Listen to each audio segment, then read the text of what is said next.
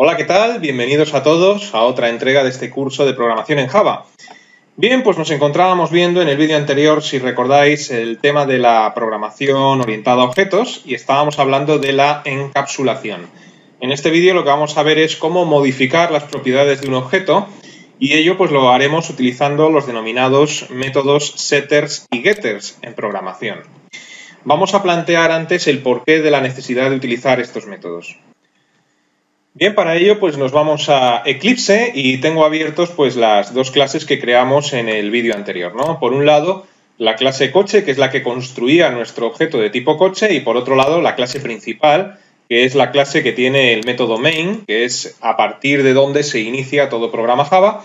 Y en esta clase de uso coche, pues lo que hicimos fue instanciar un objeto de tipo coche y después, desde un system.out.print, pues queríamos saber las ruedas que tenía ese objeto de tipo coche, ¿no?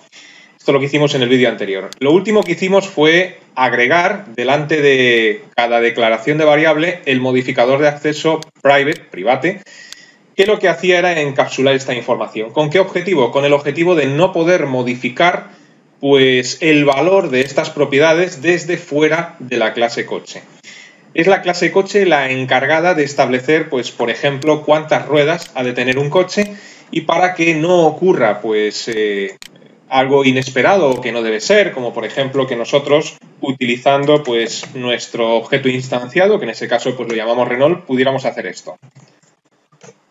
Decirle que nuestro coche tiene tres ruedas. Para que esto no pueda ocurrir, fíjate como Eclipse me está diciendo que esto es un error, pues lo que teníamos que hacer era encapsular ese dato agregándole el private delante, ¿no?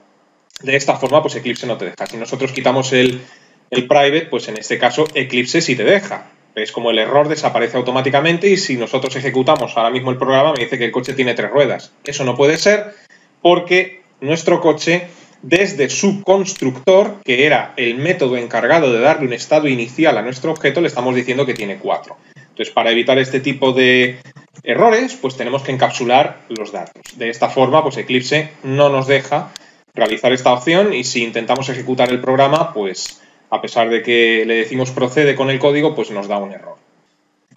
Y bien, es ahora, después de encapsular estos datos, cuando surge la duda o la pregunta de entonces cómo puedo yo saber las ruedas que tiene el coche. Es decir, ya hemos visto que no podemos modificar desde fuera de la clase coche las ruedas de nuestro objeto de tipo coche, pero imagínate que yo quiero saber cuántas ruedas tiene. O quien dice ruedas, imagínate que queremos saber pues cuánto mide de largo, cuánto mide de ancho, el motor, el peso. Bueno, pues está claro que no podemos hacer, eh, no podemos averiguar esta información utilizando directamente la propiedad, porque esa propiedad y las demás están encapsuladas. Luego, entonces, si intentamos, por ejemplo, saber el largo, estamos en las mismas, ¿no? Si yo le digo aquí Renault.largo, bueno, pues me está marcando un error en largo porque ese dato está encapsulado. Es aquí donde entran en juego los métodos getters y setters. Y esto de los métodos getters y setters pues tiene mucho que ver con la programación orientada a objetos. Y tiene que ver porque no podemos modificar las propiedades de un objeto a no ser que sea a través del canal correspondiente. Me explico. Nosotros hablamos en vídeos anteriores del ejemplo del equipo IFI modular. Está claro que tenemos un módulo para el volumen, por ejemplo, y tenemos un módulo para el lector de CDs. Estos dos módulos de alguna forma deben comunicarse entre sí. ¿Para qué? Pues por ejemplo para modificar el volumen de la música que sale del reproductor de CD. De alguna forma estos dos módulos están modificados. El módulo del, volumen debe ser capaz de modificar pues lo alto o bajo que suena la música que sale del reproductor de CD, pero no debe ser capaz de modificar, por ejemplo, el avance de las canciones, que eso se hará desde el propio módulo, o la velocidad de reproducción, ¿no? Bien, pues este nexo que une a ambos módulos, para que podamos modificar el volumen de la música que sale del reproductor de CDs, es lo que en eh, Java sería un método. Un método. Entonces, la forma que tienen de comunicarse las clases entre sí es a través de métodos. Es un concepto también relacionado con la encapsulación. De tal forma que, volviendo a nuestro código, si nosotros, por ejemplo, queremos acceder a la propiedad largo, pues por ejemplo, para imprimirla en la consola y ver qué largo tiene nuestro objeto de tipo coche, tenemos que hacerlo a través de un método. No podemos hacerlo directamente manipulando la propiedad. Y ese método pues podrá ser o getter o setter. Vamos a ver en qué consiste un método getter y en qué consiste un método setter. Bien, los métodos setters se denominan también en programador, eh, en programación, perdón, métodos definidores y los métodos getters se denominan métodos captadores. ¿Por qué se le da esos nombres? Bueno, pues porque en principio un método setter está encargado de definir o establecer el valor de una propiedad, mientras que un método getter está destinado a captar o proporcionar el valor de esa propiedad. Es decir, por un lado, desde un setter modificamos el valor de una propiedad y por otro lado, desde un getter obtenemos cuál es el valor de esa propiedad. Nosotros en el ejemplo que hemos elaborado hasta ahora, a través del método constructor, le hemos dado un estado inicial a nuestros objetos de tipo coche. Tiene cuatro ruedas, tiene un largo de 2.000 centímetros, creo recordar, etc. Si yo quiero acceder al valor de una de esas propiedades que hemos establecido desde el constructor, deberé utilizar un método getter. ¿Y qué sintaxis tiene un método getter? Bueno, pues la sintaxis que tiene un método getter es public para poder acceder a él desde cualquier otra clase. A continuación del public, el tipo de dato que ese método getter nos va a proporcionar. Por ejemplo, si nosotros queremos acceder o ver el valor de la propiedad largo, ese valor de la propiedad largo pues puede ser un dato de tipo entero si solamente queremos que nos devuelva la propiedad 2000, por ejemplo, ¿no? O puede ser un dato de tipo string si vamos a concatenar ese dato con una cadena de caracteres. Por ejemplo, el largo de tu vehículo es concatenado con el valor de la variable largo. A continuación iría pues el nombre del método. Este nombre pues lo establecemos nosotros y puede ser el que queramos. Se abre una llave el código de programación que ese método pueda tener en su interior y obligatorio una instrucción return. Bien, vamos a ver todo esto en un ejemplo práctico que es como mejor se entiende. Vamos a crear nuestro primer método getter pues para poder averiguar o saber cuál es el valor de la propiedad largo y luego si queremos pues haremos lo mismo con la propiedad ruedas, con la propiedad alto, etcétera, etcétera. Luego entonces nos vamos a ir a Eclipse y una vez que estamos ya en Eclipse, está claro que esta instrucción que creamos en el vídeo anterior no es válida, genera un error porque estamos intentando acceder a una propiedad encapsulada y no podemos hacerlo así. Voy a comentar esta instrucción de System.print y nos vamos a ir a nuestra clase coche. Aquí tenemos las propiedades encapsuladas de vídeos anteriores. Aquí tenemos el método constructor, que era el encargado de dar un estado inicial a nuestro objeto, tiene cuatro ruedas, etcétera, etcétera. Bueno, pues a continuación del método constructor vamos a crear nuestro primer método getter.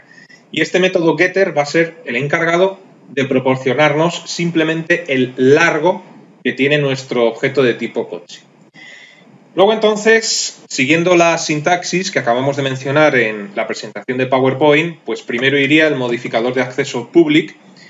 Hablaremos más adelante en este curso de los modificadores de acceso, pero simplemente os anticipo que el poner el public delante del método hace que este método se pueda utilizar en cualquier otra clase. Si no pusiéramos el public, pues tampoco podríamos acceder a ese método desde otras clases, ¿no?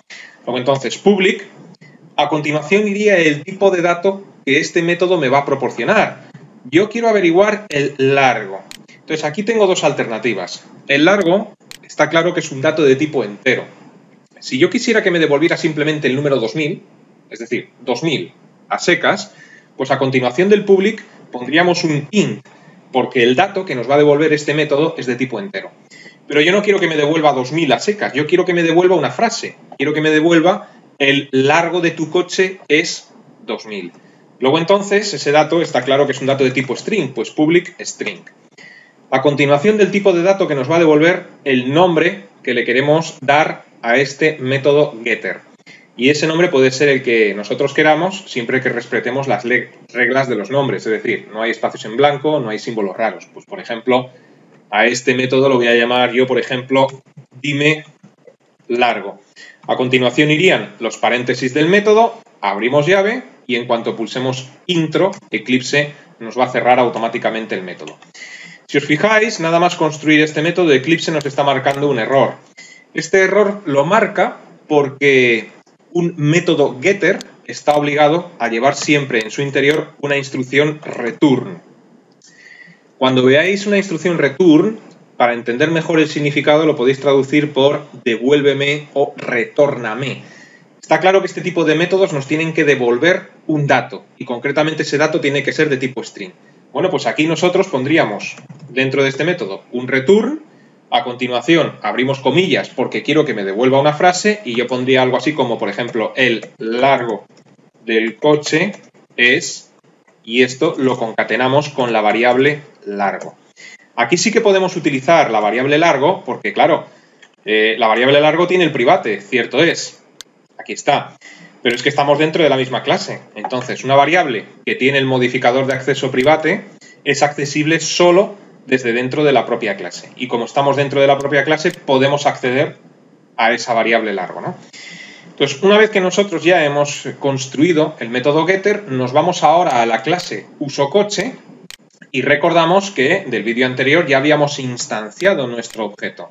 Habíamos dicho coche, que es el nombre de la clase a la que pertenece, nombre que le queremos dar al objeto. Yo le puse como ejemplo el nombre de Renault, a continuación el operador new y a continuación nombre del método constructor. Recordamos qué estamos haciendo concretamente con esta instrucción. Bien, pongo una clase al lado de la otra.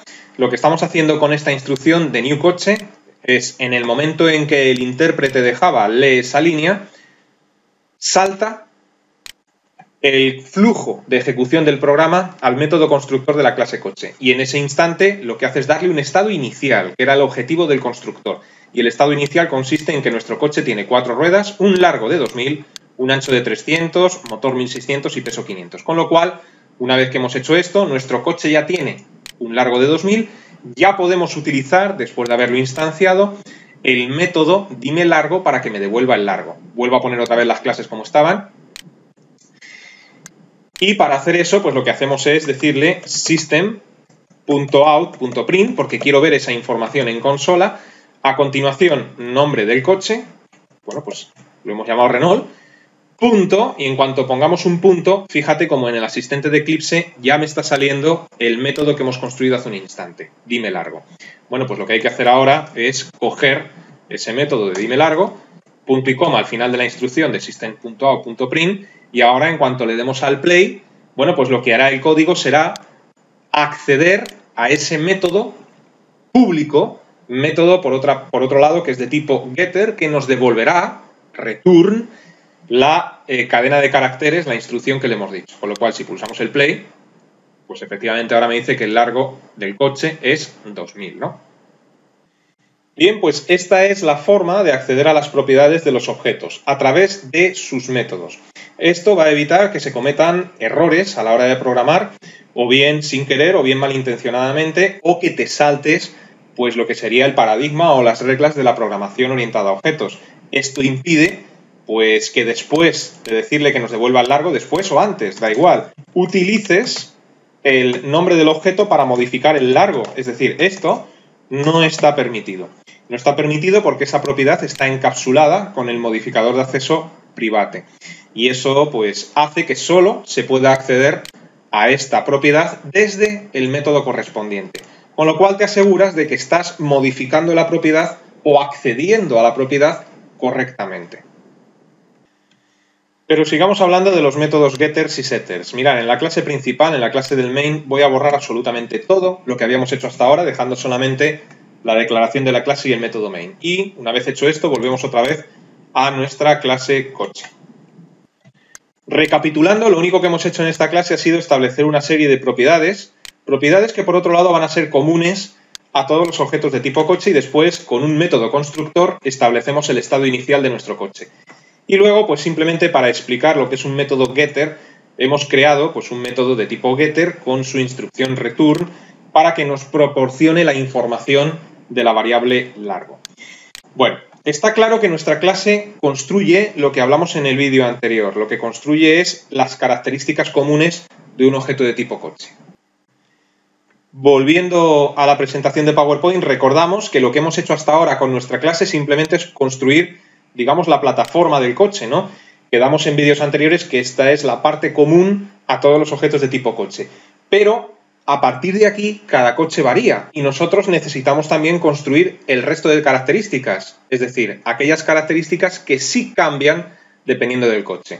La parte común ya la tenemos, pero ahora deberíamos de construir pues eh, otras cosas, como por ejemplo los asientos que puede llevar ese coche, si el coche lleva aire acondicionado o no, el peso final del coche, porque también establecimos el peso de la plataforma, pero después cuando el coche esté confeccionado, pues cada coche pesará una cosa diferente, ¿no? Luego entonces el peso final del coche también será otra propiedad que tengamos que establecer.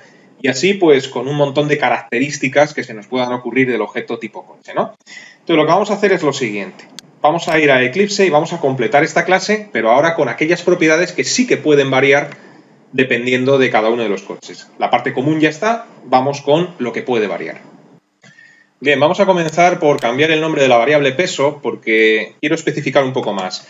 Peso va a ser el peso de la plataforma. Después el peso del coche será diferente. Luego entonces lo primero que hago es modificar el nombre de la variable que declaré en vídeos anteriores de peso a peso plataforma y en el constructor pues está claro que también lo tengo que cambiar, ¿no?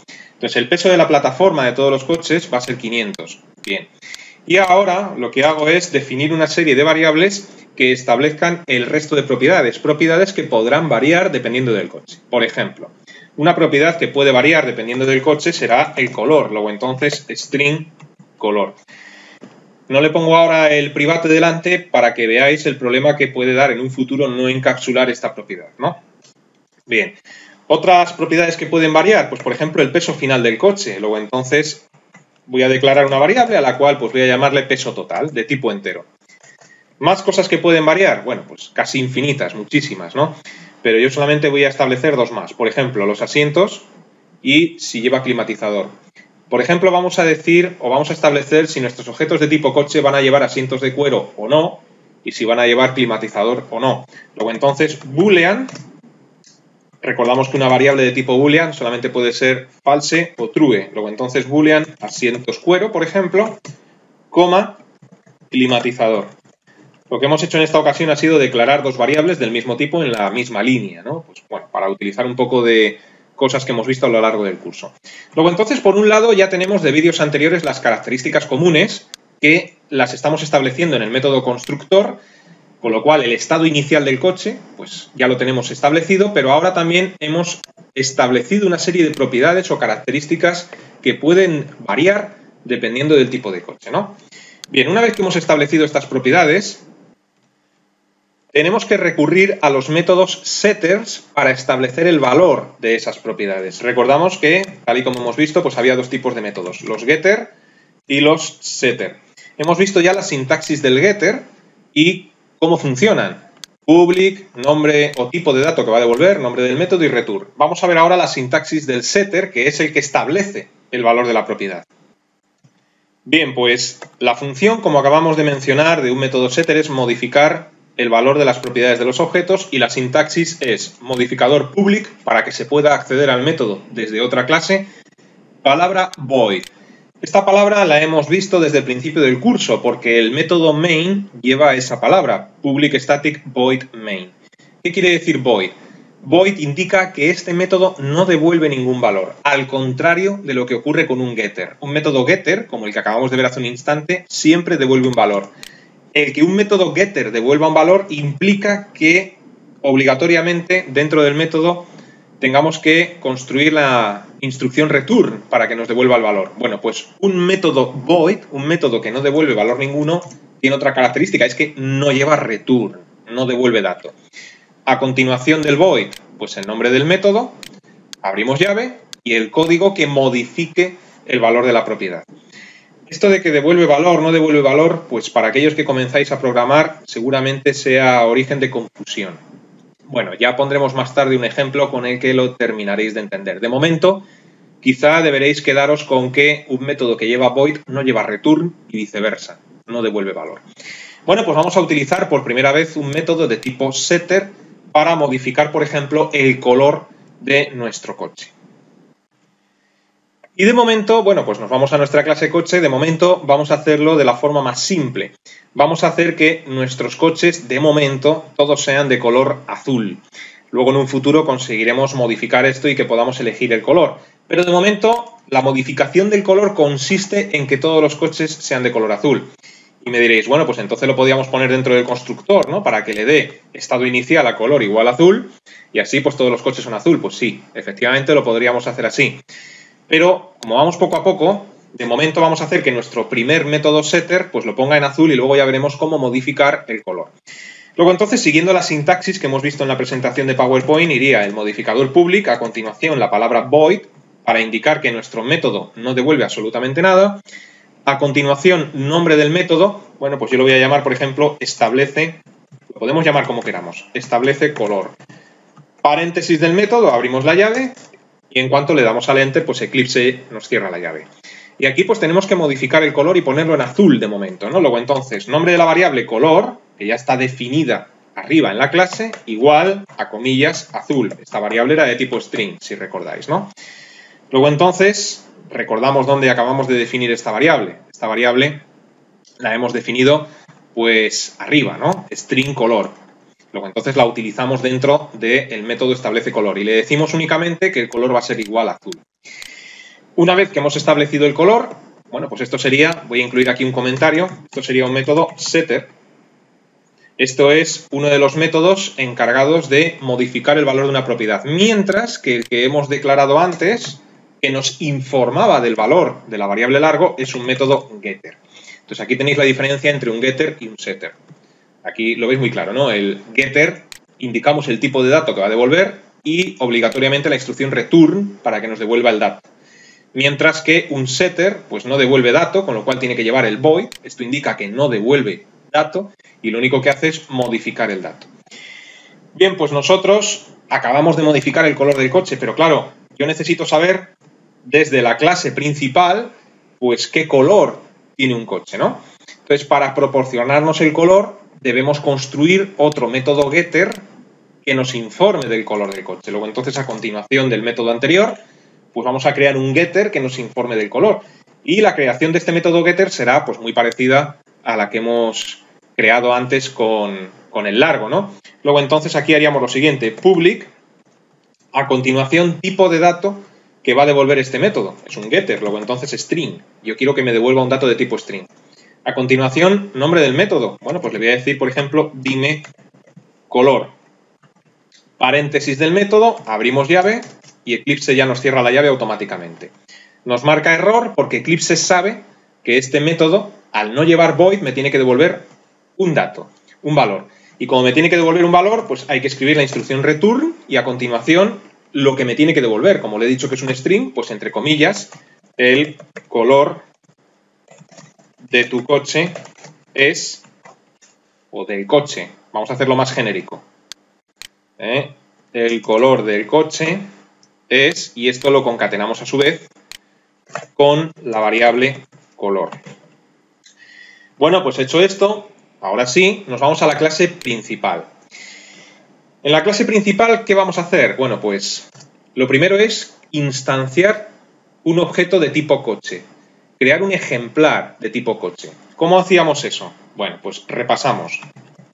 Nombre de la clase. A continuación, nombre del objeto. Pues por ejemplo lo voy a llamar así. Mira, para no hacer publicidad, lo voy a llamar mi coche. Igual, operador new y método constructor coche paréntesis paréntesis. Con esta instrucción ya le hemos dado un estado inicial porque estamos llamando al constructor. Tiene cuatro ruedas, tiene largo 2000, tiene, en fin, las propiedades comunes. Pero yo ahora quiero eh, primero modificar el color de este coche y segundo, después de haber modificado el color de este coche, que me imprima en consola cuál es el color de ese coche. Bien, ¿cómo modificamos el color de ese coche. Hemos visto que de momento nos lo pone siempre en azul, pero ¿cómo lo hacemos? Bueno, pues nombre del objeto, punto, método. Y fíjate cómo al poner un punto nos sale un asistente y en ese asistente, pues en algún lugar tiene que estar el método establece color. Fíjate cómo lo tenemos pues justo aquí, ¿no?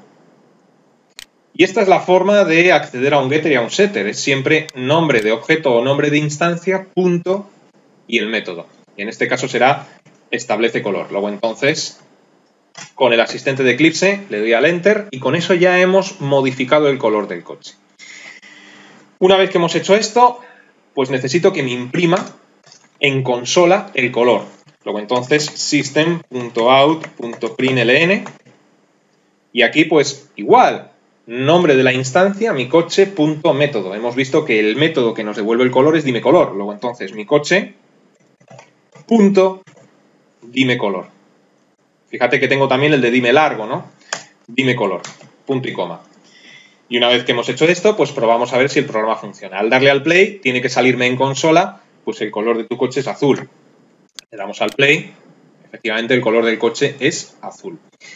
¿Qué hubiera ocurrido si no hubiéramos modificado con el método correspondiente el color del coche? Bueno, pues si comento esta línea, desde la cual estamos modificando el color del coche con el método setter correspondiente, lo que le vamos a decir es que nos imprima el color del coche, pero claro, no hemos establecido antes cuál es el color, con lo cual tendrá que decir el color del coche es y una cadena vacía o null. El color del coche es null.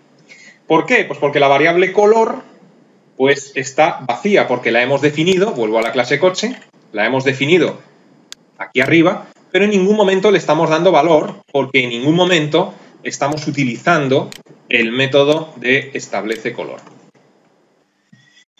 Bien, pues hemos utilizado ya métodos getter, hemos utilizado método, un método setter desde la clase principal.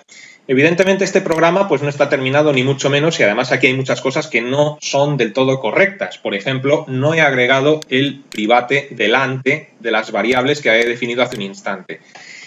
En el próximo vídeo veremos qué problema va a dar esto y veremos cómo estamos obligados prácticamente a encapsular también estos datos, a pesar de que son particulares de cada objeto, también debemos encapsularlos. Pero eso, como digo, lo dejaremos ya para el próximo vídeo. Así que os invito, como siempre, a que permanezcáis atentos a la próxima entrega.